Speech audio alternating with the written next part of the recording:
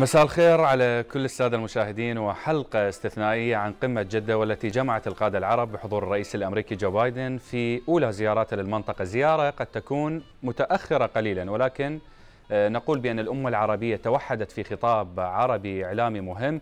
هذا الخطاب كانت مؤشراته إيجابية بالنسبة للدول العربية التي كانت متحفظة جدا على هذه الزيارة. تمام يا أحمد فعلا وأهلا ومرحبا بك. فعلا نحن كدول عربية نواجه الآن تحديات كبيرة وكثيرة. ربما لم نواجه هذه التحديات في عقود مضت ولم نواجه هذه التحديات مع كثرة التحديات والأزمات. اسمحوا لي ونحن نتحدث عن هذه القمة الناجحة. أن أذكر كلمة السيد الرئيس كما جاءت بعض الجمل في كلمته. ذكر السيد الرئيس عبد الفتاح السيسي في كلمته الحكيمة خلال مؤتمر جدة وقال إن لمصر تجارب تاريخية جديدة في المنطقة وكانت دوما خلالها مصر رائدة وسباقة في الانفتاح على مختلف الشعوب والثقافات وانتهاج مسار السلام. فكان هو الخيار الاستراتيجي الذي صنعته مصر وفرضته وحفظته وحملت لواء نشر الثقافة إيمانا منها بقوة المنطق لا منطق القوة وبأن العالم يتسع للجميع وهو سلام الأقوياء القائم على الحق والعدل والتوازن واحترام حقوق الآخر. أيضا السيد الرئيس أكد على كل الجهود المشتركة العربية تجاه هذه القمة وبالتحديد تجاه القضية الفلسطينية. والسيد الرئيس دائما يذكر بأن القضية الفلسطينية لابد أن يكون هناك حل وأن يكون حل دولي وأن يكون هناك أيضا شرعية هذه الدولة وأن تأخذ كل الحقوق الدولية الخاصة بها. نحن كأجيال كبيرة وأجيال الحقيقة طالت المدة هناك يعني من توفاه الله ولم يستمع لهذه الكلمة بأن الحق عاد والأراضي الفلسطينية عادت إلى أهلها. خلينا نستمتع نحن ونحن عيش كأجيال بأن نحلم بأن تعود الأراضي قريبا وأن نستمتع بكلمة متعة السلام. متعة السلام أن نحتفي ونحتفل جميعا كعرب في الأراضي الفلسطينية بالأراضي الفلسطينية. وأنا أذكر الدولة الفلسطينية والأراضي الفلسطينية.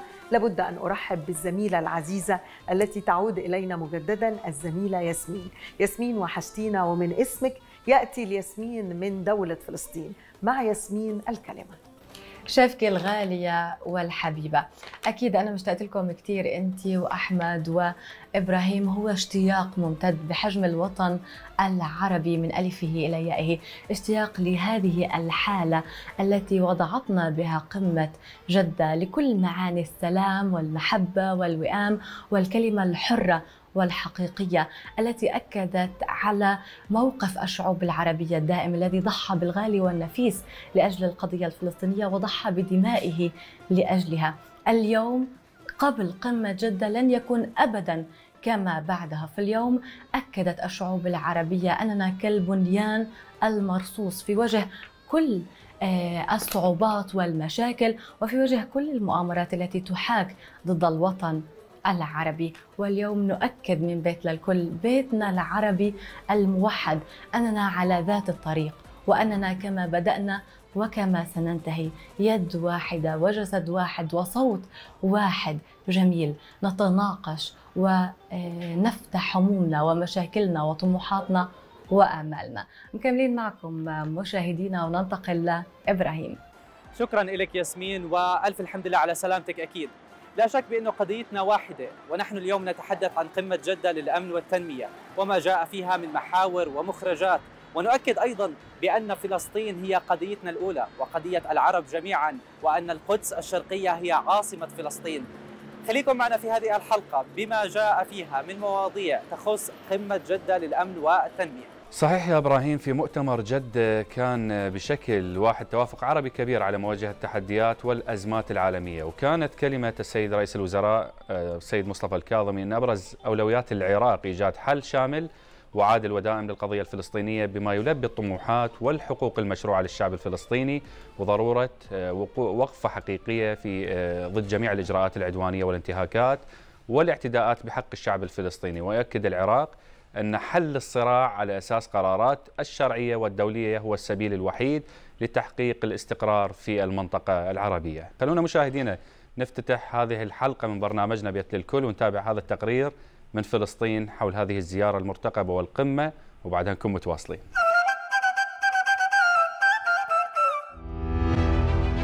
قفل الرئيس الأمريكي عائدا إلى بلاده بعد زيارة للمنطقة قيل انها ستغير ملامح الخريطة الجيوسياسية وتعيد تشكيلها بما ينسجم مع أطماع إسرائيل وغاياتها.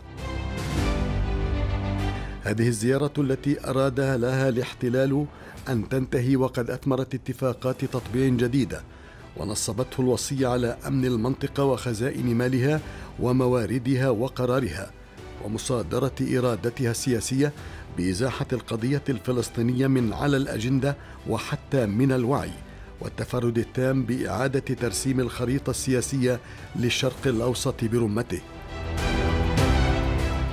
وسبق الزياره حملة ترويج واسعة النطاق مفادها بأن قمة جده المزمع ستمهد لموافقة عربية بتنفيذ صفقة القرن المعدله اسرائيليا وبذلك يسدل الستار على آخر فصل من فصول النضال الفلسطيني وينقضي الأمر وتنتهي الحكاية حتى جاء القول المبين الذي أكد بالقطع أن مبادرة السلام العربية هي الأساس لاي حل سياسي منتظر.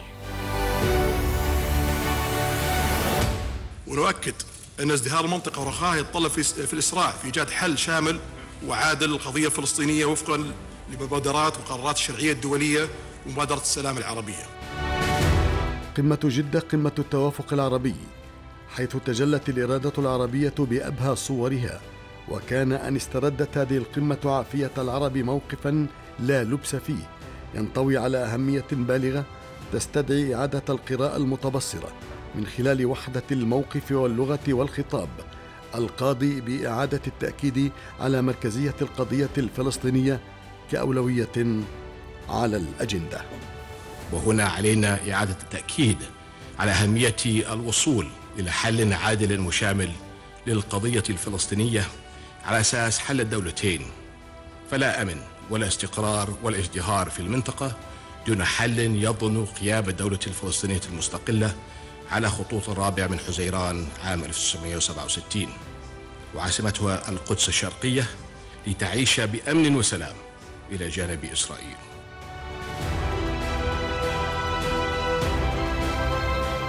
هذا التوافق إذن الذي ينتج انتصارا وانحيازا للقضية الفلسطينية التي نال منها الغياب بعد أن تلاشت من المشهد السياسي والاهتمام الدولي ومن موائد صنع القرار الكوني.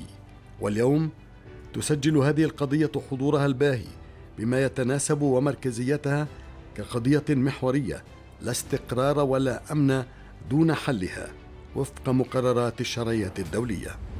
فإن جهودنا المشتركة لحل أزمات المنطقة سواء تلك التي حلت خلال العقد المنصرم أو تلك المستمرة ما قبل ذلك لا يمكن أن يكتب لها النجاح إلا من خلال التوصل إلى تسوية عادلة وشاملة ونهائية لقضية العرب الأولى وهي القضية الفلسطينية.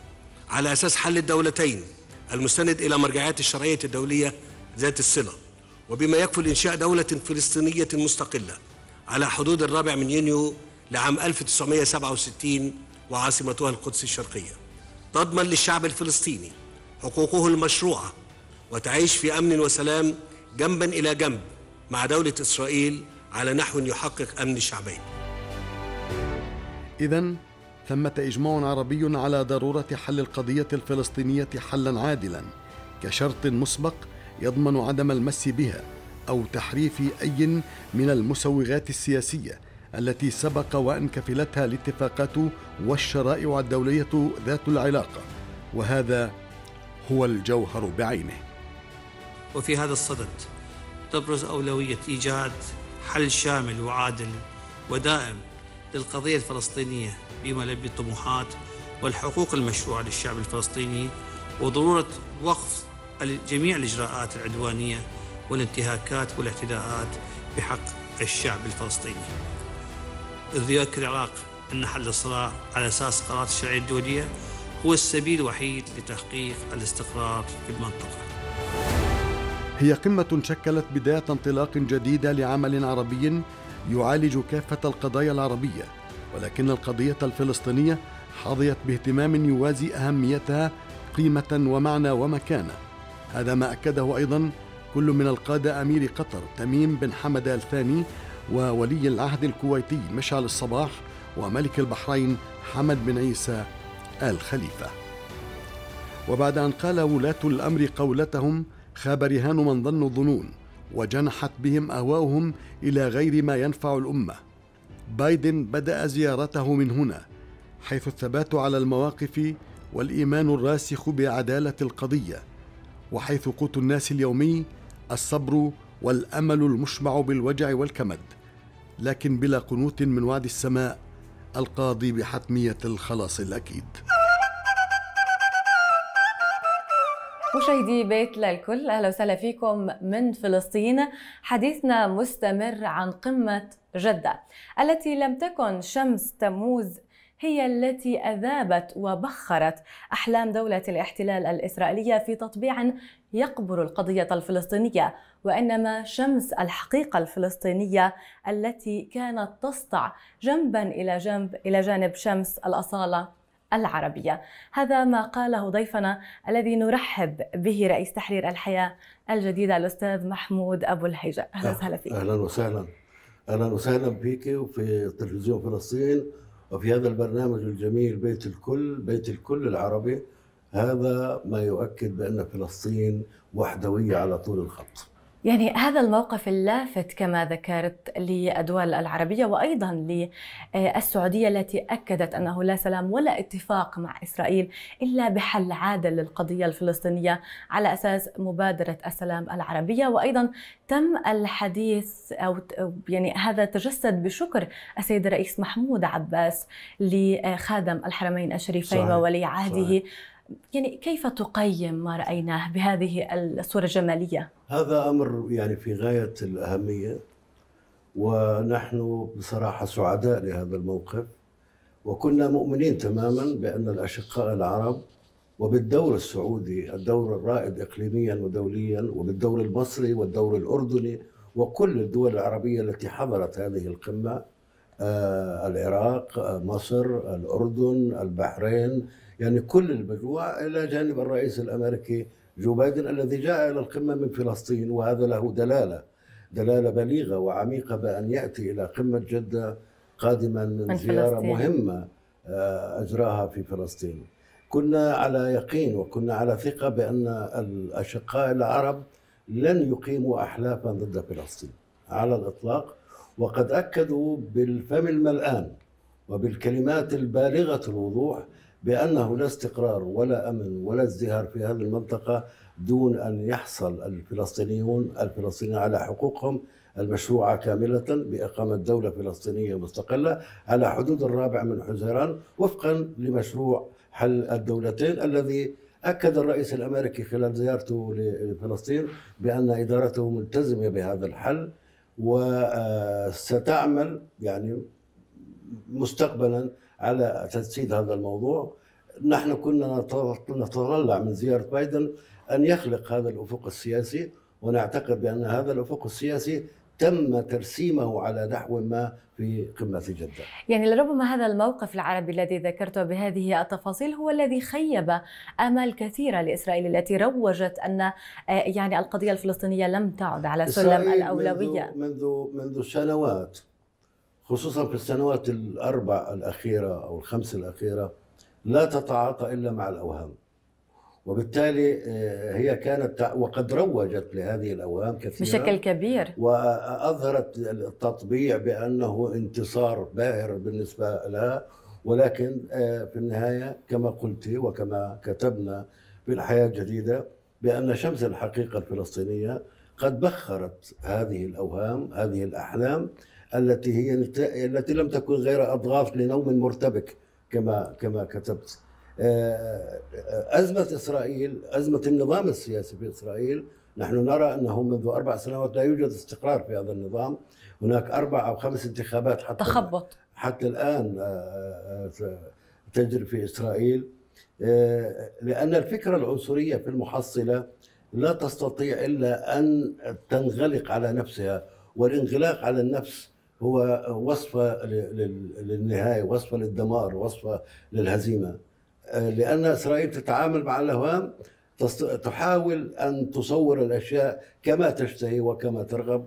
والواقع يقول غير ذلك في المقابل أستاذ محمود هل لامس آه، هذا الموقف آه، كبد المعاناة للشعب الفلسطيني الذي يعاني الأمرين ولا زال يعاني من استيطان آه، يعني سلب للأراضي نعم. سلب للحياة نعم، سلب للهوية القدس نعم. والأقصى والشيخ جراح وما إلى ذلك والأسرى وكل الملفات الأساسية دعينا نقول وقد استمع العالم إلى ما قاله الرئيس أبو مازن في المؤتمر الصحفي مع صحيح. الرئيس الأمريكي عدد كل قضايا القضية الفلسطينية كل مسائل القضية الفلسطينية كل ما يعاني الشعب الفلسطيني من تهجير وتهجير قسري للسكان في القدس وفي سلوان وفي مسافر يطا من محا... من عمليات قتل يومية تجري على الحواجز من مصادرة للأراضي من استيطان معاناة الشعب الفلسطيني لخصها الرئيس أبو مازن بكلمات واضحة ومحدودة صحيح. أمام الرئيس الأمريكي. يعني وكما يؤكد السيد الرئيس محمود عباس على الدوام وفي كل المحافل أن هذا الشعب يريد حياة ويريد حياة كريمة وهذا ما نتطلع إليه دائما. المخرجات من هذه القمة هل ترى آه، أنها يعني كيف ستصبح واقعا؟ وكيف ترى أنها يجب أن تجسد على أرض الواقع؟ نحن آه، نتطلع وقد آه، من وجهة نظري أعتقد بأن الأشقاء العرب أدركوا بأن حياة الاستقرار والازدهار في هذه المنطقة آه، يتطلب آه، بالأساس إقامة الدولة الفلسطينية المستقلة بمعنى أن يحصل الشعب الفلسطيني على حقوقه المشروعة كاملة. آه، الأشقاء العرب باتوا أقدر على مواجهة التحديات الراهنة والمتغيرات الدولية. في ظل الأزمة الأوكرانية اتضحت الأمور على نحو بليغ بأن الاقتصاد يلعب دور أساسي في آه، آه، رسم سياسات مستقبلية آه، سياسات مستقبلية مهمة وضرورية لحياة فيها حرية وفيها استقلال وفيها سيادة وفيها ازدهار وفيها تقدم.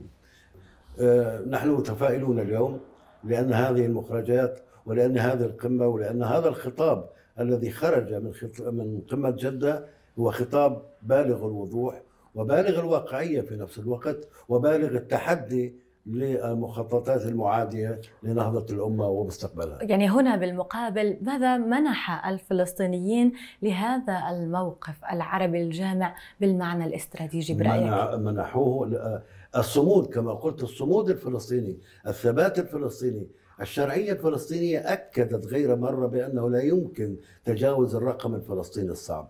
القرار الفلسطيني المستقل هو الذي عزز هذا الموقف العربي. أدرك العرب وأدرك العالم وأدرك الإقليم بأسره بأنه لا يمكن فعلا تجاوز هذا الرقم الفلسطيني الصعب. برأيك ما هي الفوائد التي سنجنيها كفلسطينيين وكعرب من زيارة بايدن في هذه المرحلة وفيما بعد؟ قبل يعني نحن آه، آه، كما قلنا قبل هذا اليوم لا نتعاطى مع الأوهام. نحن ندرك صعوبة الوضع الراهن وندرك بأن آه، غطرسة اليمين الإسرائيلي اليمين المتطرف الإسرائيلي سيقاتل أي محاولة لعودة مفاوضات السلام سيقاتل أي محاولة لتحقيق الهدوء والاستقرار. ما نريد من الولايات المتحدة أن نعزز علاقاتنا مع مع هذه الدولة أن نكون على مستوى علاقات ندية وعلاقات حميمة في نفس الوقت بين الشعبين الفلسطيني والأمريكي. آه، نحاول باستمرار وهذا جزء من النضال السياسي للقيادة الفلسطينية جزء من النضال السياسي للشعب الفلسطيني. نحن لا نغلق الأبواب أمام أحد. نحاول باستمرار أن نكون أصدقاء للجميع. آه، أشقانا هم أشقانا ولكن على الصعيد الدولي نحاول فعلا أن نكون أصدقاء آه، لكل القوى ولكل الدول ولكل الشعوب. رئيس تحرير الحياة الجديدة أستاذ محمود أبو الهجة كل الشكر لك ولانضمامك معنا في هذا البيت العربي بيت للكل الذي نأمل بالفعل أن يتجسد في كل مناحي الحياة لنؤكد على كلمة الشعوب العربية الدائمة أن الوحدة هي أساس أي تقدم وازدهار وسلام.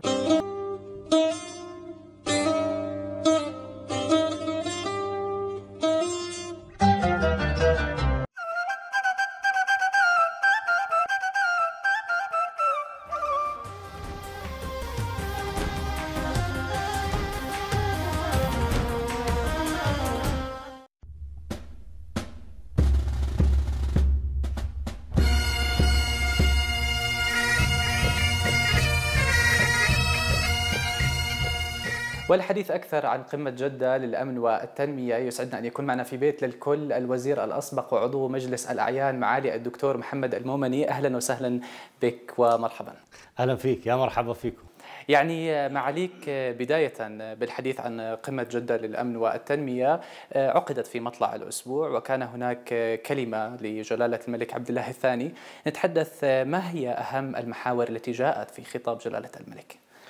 الحقيقة كلمة جلالة الملك المعظم كانت في غاية الأهمية أولا هو لخص المصالح الأردنية الاستراتيجية اللي مرتبطة في القضايا الإقليمية العالقة واللي ضروري جدا زعماء الإقليم وأيضا رئيس الولايات المتحدة الأمريكية يكون بصورتها، جلالة الملك يضع المصالح الأردنية على الطاولة يتحدث عن العبء الكبير الذي لا زال الأردن يعاني منه وهو استقبال اللاجئين السوريين.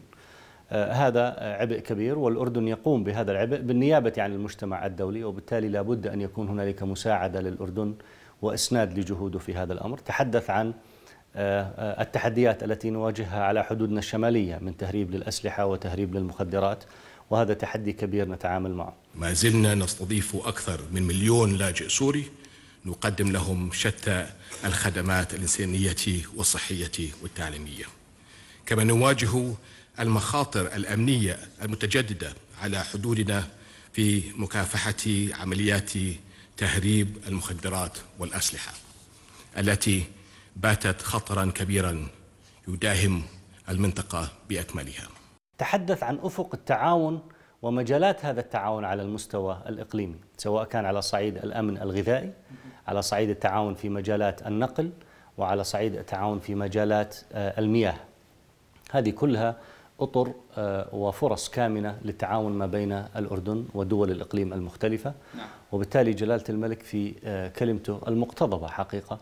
وضع هذه المحاور الأساسية على طاولة البحث والقرار الهام. أصحاب الجلالة والفخامة والسمو نجتمع اليوم ومنطقتنا والعالم تواجه تحديات متعددة من التداعيات الاقتصادية لجائحة كورونا.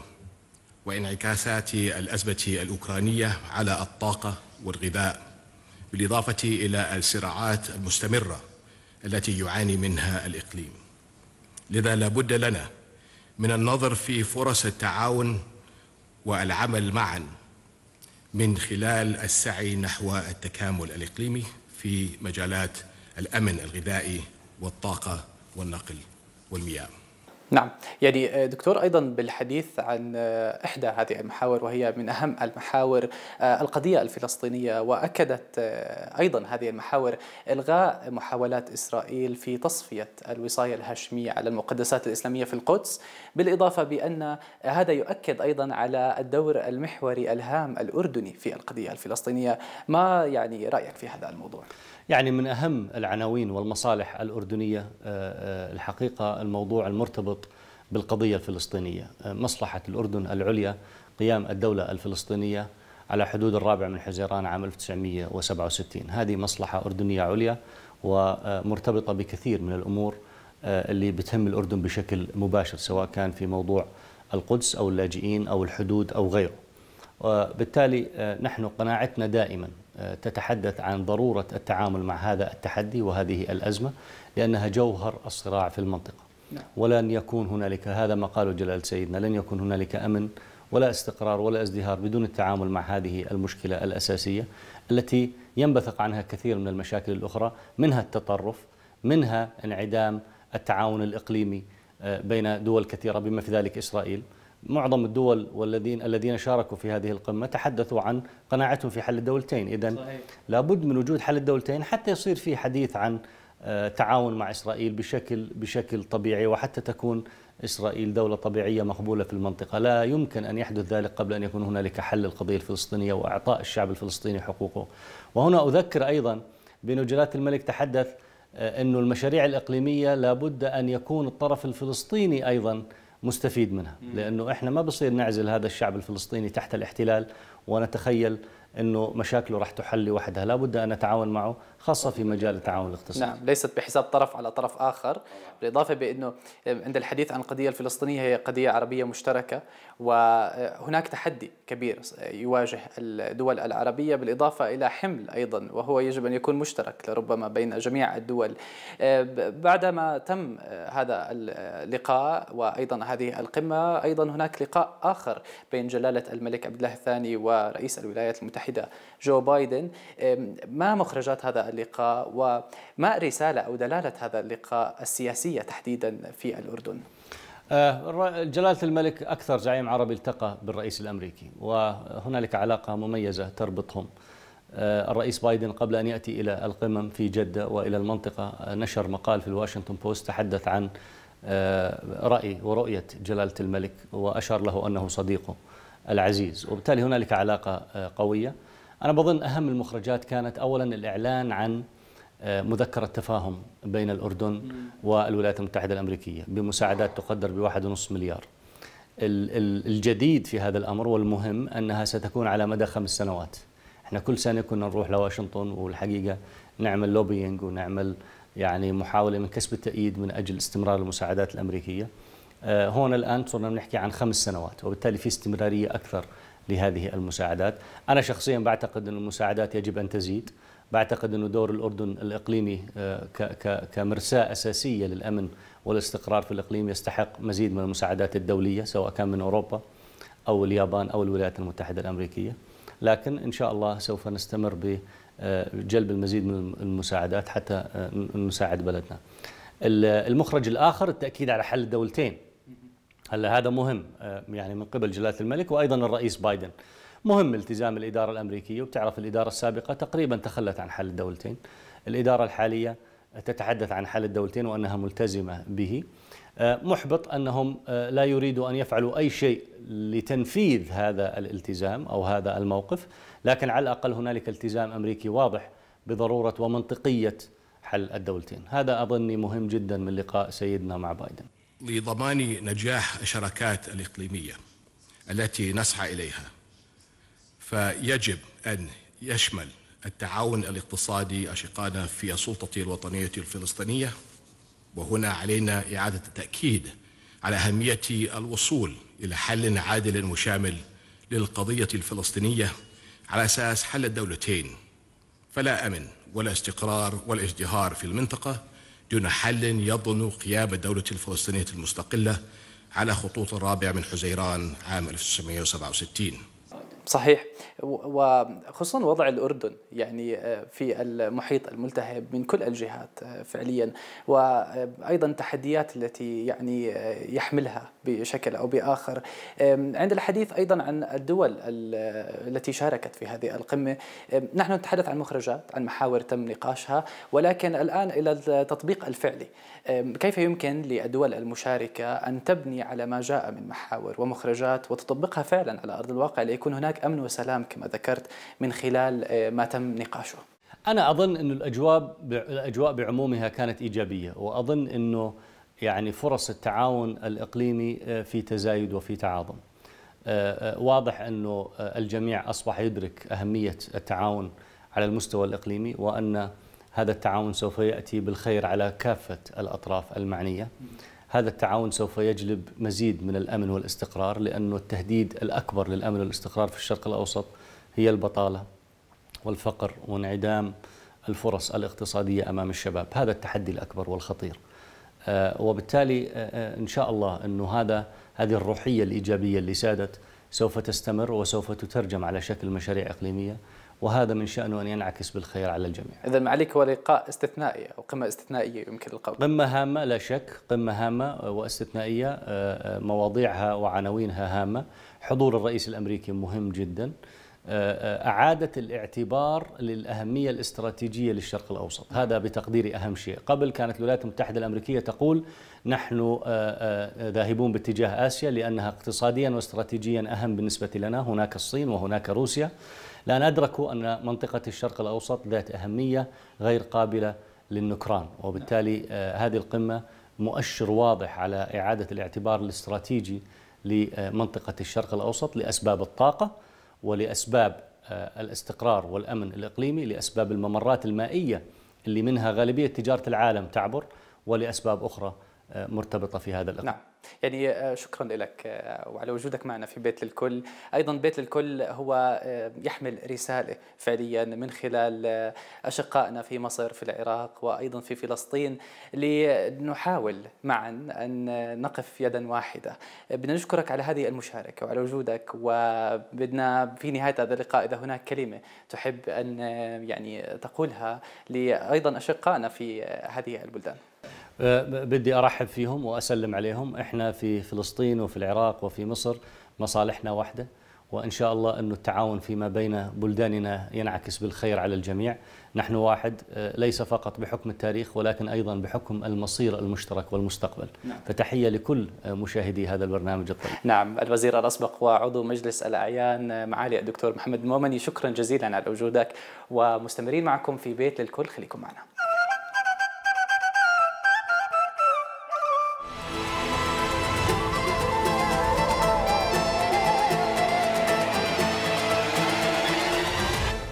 في قمة آه، عربية أمريكية خليجية ناجحة كان لابد أن يتوقف هنا بيت للكل. بيت للكل آه، كان يتابع هذه القمة وكأننا جزء من هذه القمة لأننا شعوب عربية نتابع كل ما يحدث. وكان الفخر بأن هذه القمة العربية لقادة الخليج العربي وأيضا بالانضمام جمهورية مصر العربية والعراق والأردن كان لها تأثير كبير في حضور الجانب الأمريكي والإدارة الأمريكية. لهذه القمة نتحاور الآن مع الكاتب الصحفي والأستاذ أحمد ناجي أمحة رئيس تحرير مجلة السياسة الدولية. مساء الخير. سنور يعني الحقيقة يمكن آه، الشعوب العربية هنا أتحدث عن الشعوب العربية لأنه آه، الشعوب العربية تتابع ما يحدث في العالم بشكل عام وهذه القمة تحديدا كان لها تحضيرات إعلامية وسياسية وموضوعات وأشياء كثيرة وقيل وقال فكان الانتظار ماذا آه، سيحدث في هذه القمة وكيف سيكون شكل الدول العربية وكيف ستتحاور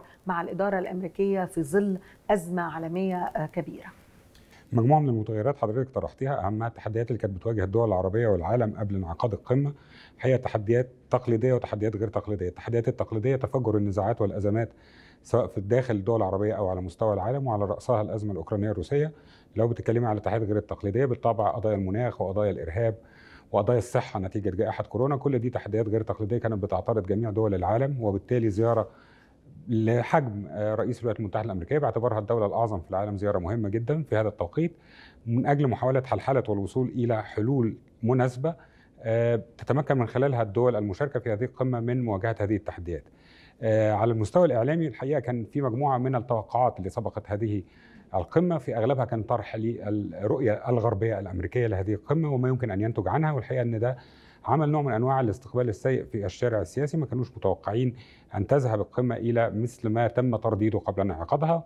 لكن مع انعقاد القمة وبدء جلسات أعمالها منذ لحظة وصول الرئيس الأمريكي إلى المملكة العربية السعودية وحتى مغادرته لها تغيرت كثير من الانطباعات لدى الشعوب العربية وتأكدت الشعوب العربية أنها لحظة فارقة في تاريخ الأمة العربية وأن القادة العرب اجتمعوا على ألا يتفرقوا مرة أخرى وده كان واضح تماما في الخطابات اللي تم إلقائها خلال جلسات القمة. خلينا ناخد هذه المحاور لأنها محاور كثيرة ونقاط كثيرة خلينا نأخذها بالتحليل يعني حتى نقترب إلى شارعنا العربي ودولنا العربية. اولا هتوقف عند كلمة السيد الرئيس آه، عبد الفتاح السيسي وهي كلمة مصر. كلمة مصر كانت معنونة بأكثر من محور والمحاور كثيرة جدا وأعتقد أن السيد الرئيس قدم فيها رؤية مصر. يعني كيف ترى هذه الكلمة والمحاور التي تحدث فيها سيادة الرئيس؟ طيب هي كلمة للتاريخ؟ سيسجلها التاريخ في هذه اللحظة الفارقة التي يمر بها العالم. كلمة عبر من خلالها فخامة الرئيس عبد الفتاح السيسي عن طموحات الشعب المصري وطموحات الشعوب العربية في محاور خمسة آه، رسخها فخامة الرئيس بعد أن استعرض الظروف الآنية اللي بيمر بها العالم والتحديات اللي بيواجهها العالم سواء تحديات مناخية، تحديات صحية، تحديات أمنية، تحديات غير تقليدية بتمر بها الدول العالم نتيجة الأزمة الروسية الأوكرانية وتوقف سلسلة الامداد والتوريد وارتفاع معدلات التضخم، ومن ثم كانت الحاجة إلى من يرشد الخطاب ومن يعقلن الخطاب بعيدا عن تصورات مسبقة كانت توضع حول هذه القمة. الرئيس عبد الفتاح السيسي أكد في خلال المحاور الخمسه اللي طرحها سيادته على أن القضية الأم والمحور للعرب وللدولة المصرية وهنا نتوقف عند الدولة المصرية لأنها الدولة التي لا طالما قدمت التضحيات سواء تضحيات بشرية أو تضحيات من أراضيها. جراء الصراع العربي الإسرائيلي ولكن كلمة فخامة الرئيس عبد الفتاح السيسي كانت واضحة أنه لا تنازل عن حل القضية الفلسطينية وفقا للمبادرة العربية ووفقا للقرارات الشرعية الدولية. وده كان أمر مهم جدا في هذه اللحظة أن يعلم صانع القرار ومتخذ القرار في الولايات المتحدة الأمريكية أن هناك خطوطا حمراء حول هذه القضية وأن العرب لن يفرطوا في هذه القضية بعد أن تماهت هذه القضية في توقيت ما من الفترة من 2011 ل 2015 قبل أن يعاد إحيائها مرة ثانية عبر التوافق المصري الفرنسي وإعادة طرح القضية الفلسطينية على العالم مرة أخرى من عام 2015 بعد استعادة مؤسسات الدولة المصرية.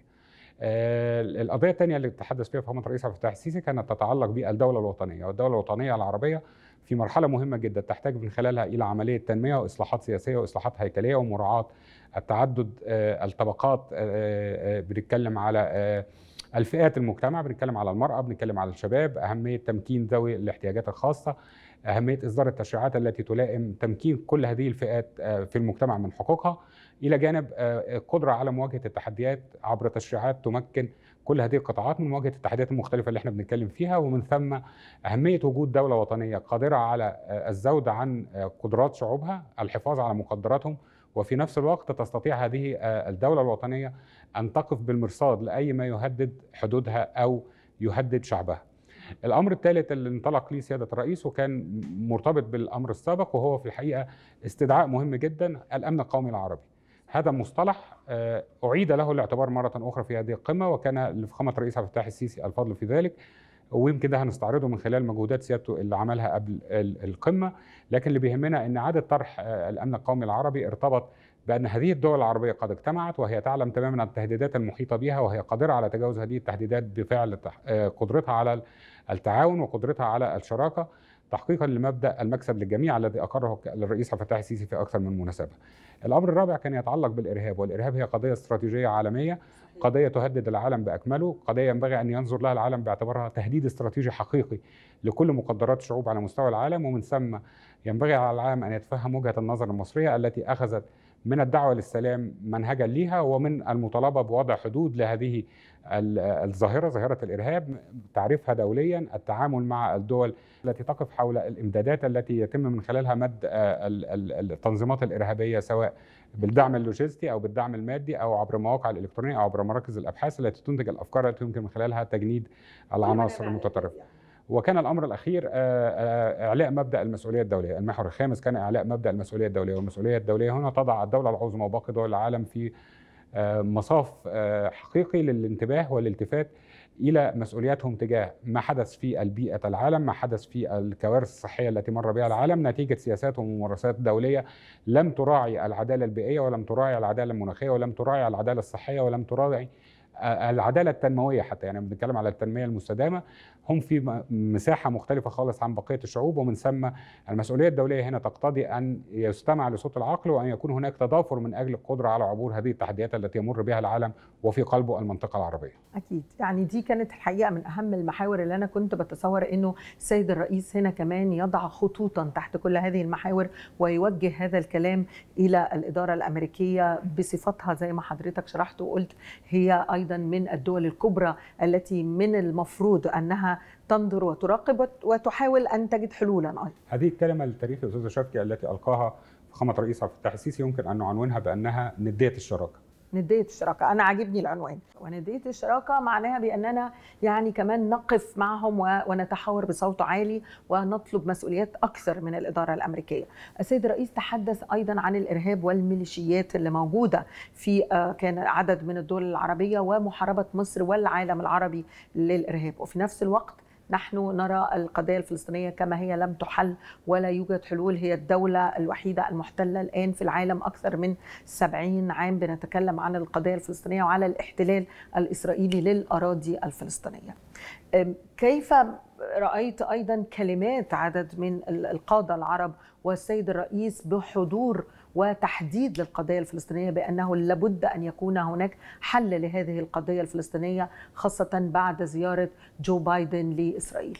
يعني خلينا نقف هنا ونشوف الطموحات العربية والأفكار الأمريكية. الولايات المتحدة الأمريكية كانت قادمة إلى هذه القمة باعتبارها قادرة على إملاء اشتراطاتها تصوراتها عن الإقليم ولكن هي فوجئت بتنسيق عربي مسبق متوافق على أجندة عربية تحقق المصالح الوطنية والأهداف القومية للدول العربية وللشعوب العربية حقها العادل في التنمية حقها العادل في الاستقرار حقها العادل في الأمن وهي أمور ينبغي على الإدارة الأمريكية أن تتفهمها.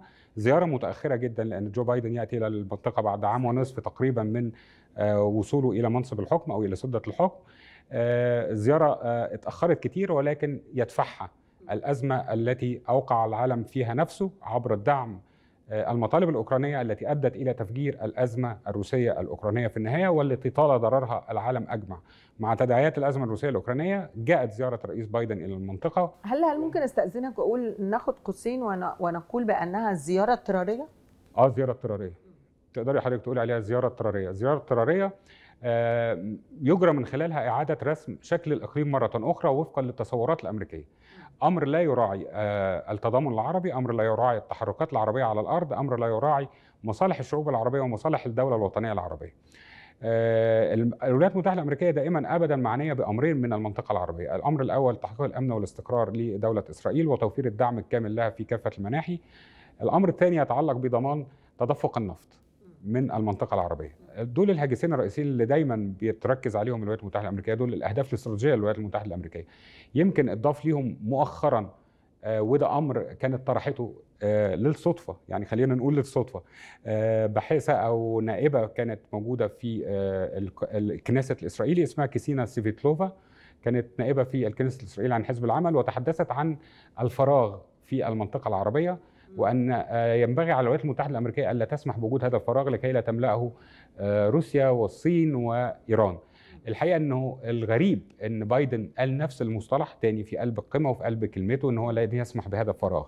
الأهداف كانت واضحة تماما، الثلاث أهداف دول كانوا على الأجندة الأمريكية حاولوا يصوغوهم في مجموعة من المبادرات، مجموعة من الأفكار انتهت في النهاية إلى تقديم دعم يعني لا يقارن بالمجهود اللي عملته الدولة المصرية في إعمار غزة وفي دعم الشعب الفلسطيني لكن في النهاية ينبغي إن إحنا نتأكد إن الأهداف الأمريكية كانت واضحة تماما الأهداف العربية كانت واضحة تماما ولكن التنسيق العربي كان أقوى بكثير من أي مرحلة سابقة وأكد على أن الصوت العربي قادر على التأثير.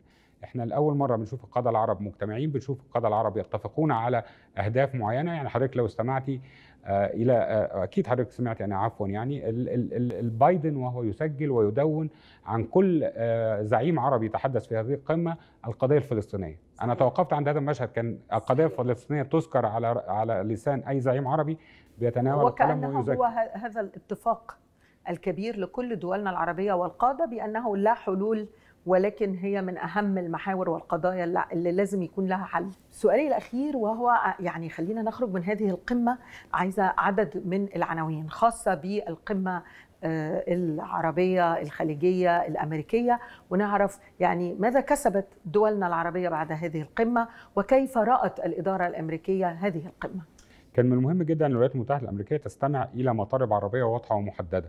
في إطار من الندية والتوازن والشراكة، إذا كانت الولايات المتحدة الأمريكية ترغب في أن تجد شريكا في المنطقة العربية فهي مرحب بها ولكن في إطار من التفاعل المحسوب بدقة شديدة فاذا العنوان إيه؟ ندية الشراكة، ده عنوان مهم جدا في هذه القمة لأن آخر ما ورد في البيان الخاص بالقمة أن القمه مطروح أنها تنعقد مرة أخرى وأن القمه ترحب بأطراف جديدة للانضمام لها في المرحلة القادمة. م. بمعنى أن الولايات المتحدة الأمريكية هي شريك استراتيجي للمنطقة العربية مرحب به دائما ولكن إذا تفهم حتمية أن يطلع بمهامه وبمسؤولياته عن حل كثير من الإشكاليات في المنطقة العربية فاهلا به. والقمة أيضا مفتوحة قمة جدة للأمن والتنمية لأنه لا تنمية بدون أمن منفتحة على باقي الأطراف سواء في الإقليم أو في العالم للانضمام لها من أجل تحقيق مصالح الشعوب العربية. بشكر حضرتك جدا الكاتب الكبير أحمد ناجي امحى رئيس تحرير مجلة السياسة الدولية بشكرك شكرا جزيلا شكرا نورتنا بهذه الكلمات والرؤية لبيت الكل أهلا وسهلا. أهلا وسهلا بحضرتك.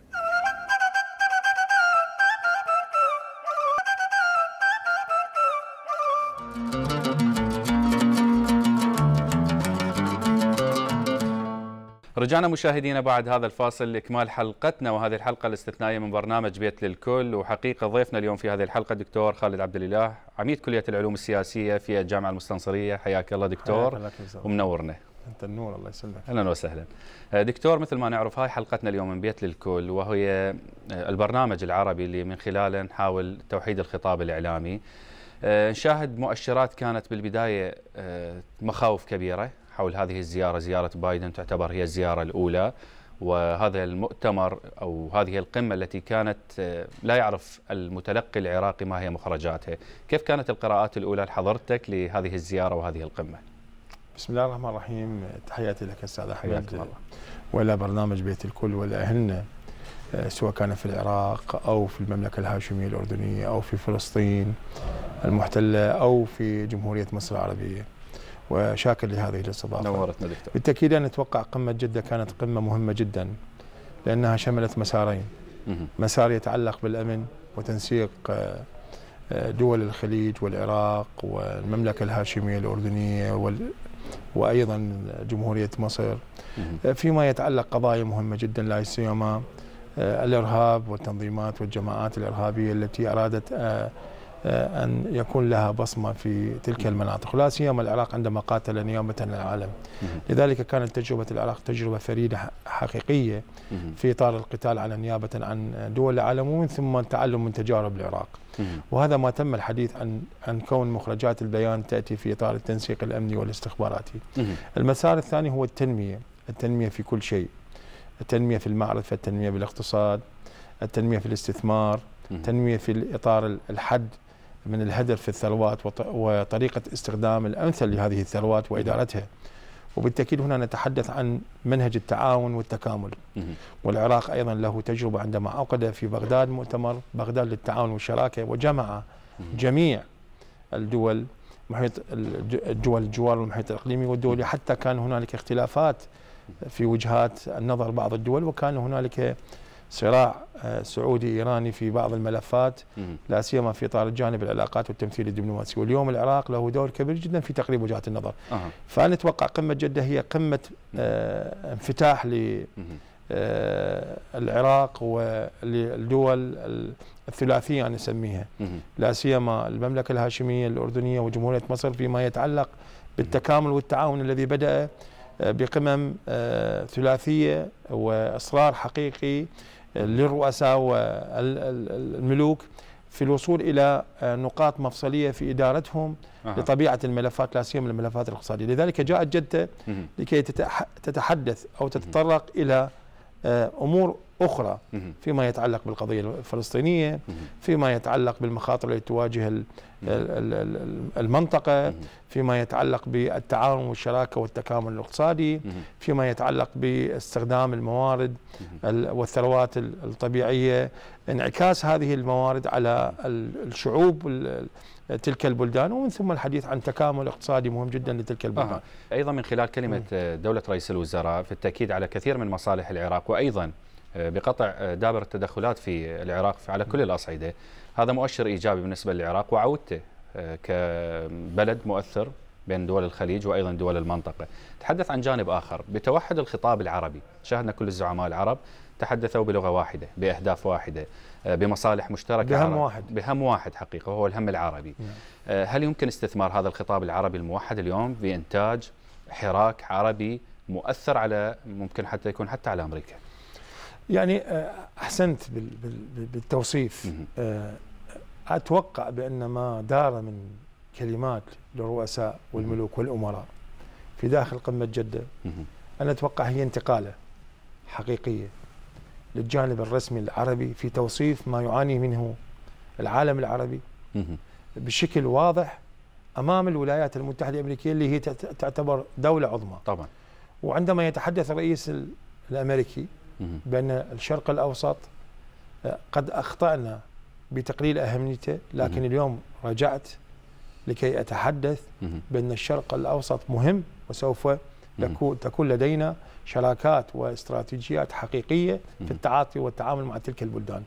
صح البعض يفسر بأن مسألة الأزمة الأوكرانية آه، الروسية ومسألة النفط والغاز والمواد الغذائية والأزمة الصحية والبيئية. دفعت بايدن للحديث عن هذا الأمر أو ما يتعلق بالداخل الأمريكي لكن مستوى الخطاب الموحد لزعماء والملوك والرؤساء والأمراء أنا أتوقع كان آه، إعطاء آه، آه، بشرى حقيقية في إطار القابل القادم إن صح لنا التعبير آه، في السياسات السياسية الأمنية الاقتصادية الاجتماعية الثقافية.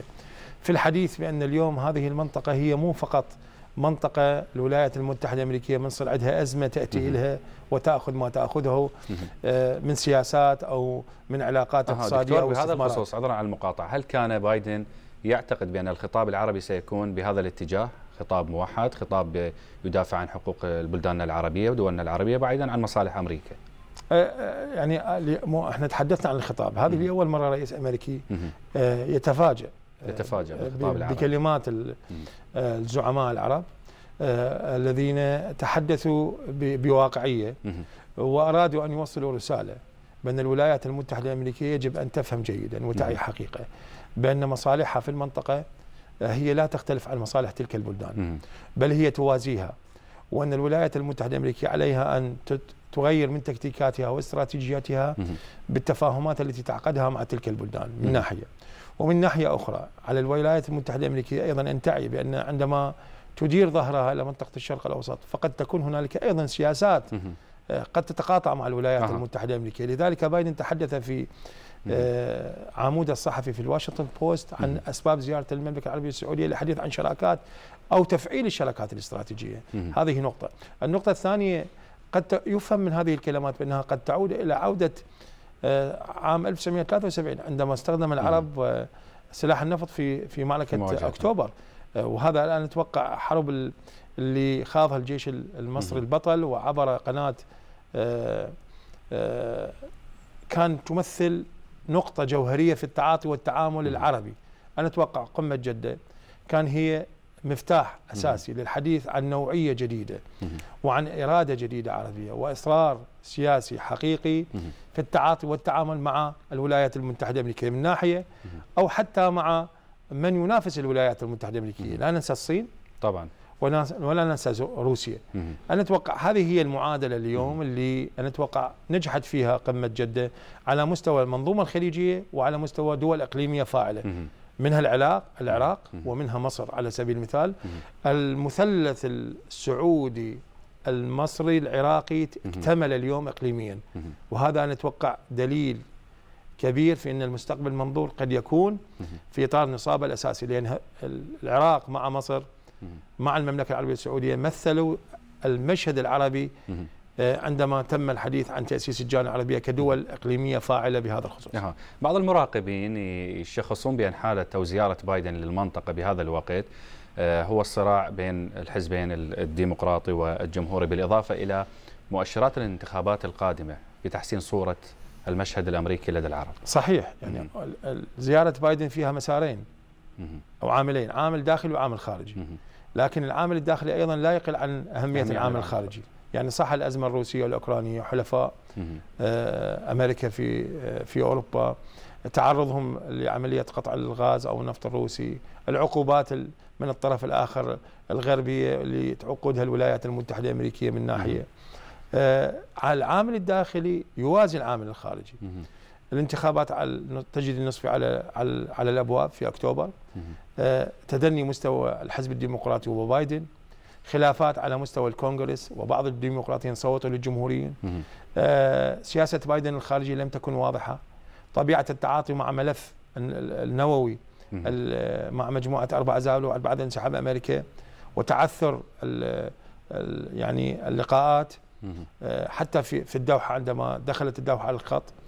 كل هذه المسارات أنا أتوقع تشكل ضغطا كبيرا جدا على الرئيس الأمريكي بايدن. لكن أنا أتوقع العامل الداخلي عامل أنا أتوقع سوف آه، يتضرر كثيرا. أه. والدليل على ذلك مسألة الحديث عن زيادة إنتاج النفط. كانت خطاب المملكة السعودية ولي العهد واضح. قال نحن آه، مرتبطين بما تم الاتفاق عليه في أوبك.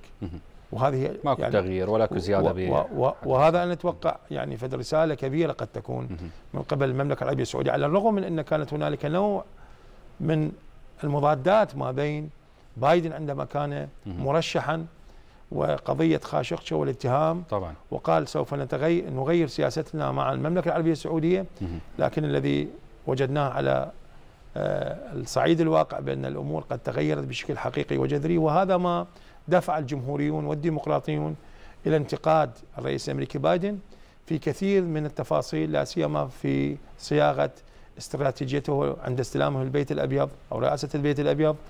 و يعني ابتعاده لا نقول إنه أمريكا غادرت منطقة ولكن ابتعاده في الأهمية منطقة الشرق الأوسط بهذا آه. طبعا دكتور خالد عبد الإله عميد كلية العلوم السياسية نورتنا في برنامج بيت للكل سعداء جدا بأخذ هذه المعلومات المهمة حول يعني اجتماع جده ومخرجاتها المهمة بالنسبة للوطن العربي نورتنا ونتمنى لك إن شاء الله التوفيق ولقاءات قادمه تكون. شكرا لك أستاذ أحمد ولجميع المقدمين الآخرين إخواننا العرب من المملكة الهاشمية الأردنية من فلسطين العربية ومن جمهورية مصر العربية ومرة ثانية لكم ولجميع المشاهدين. شكرا لك دكتور. الله يسلمك. مشاهدينا إذا وصلنا إلى ختام حلقتنا اليوم من برنامجنا العربي بيت للكل. وهذه الحلقة الخاصة عن قمة جدة إن شاء الله تكون المخرجات مهمة بالنسبة لوطننا العربي أوطاننا العربية تستحق الحياة. وأيضا فلسطين الحبيبة إن شاء الله تتحرر وتعود فلسطين كما كانت في السابق. وصلنا إلى مسك الختام دائما التقاكم على حب الأوطان في الله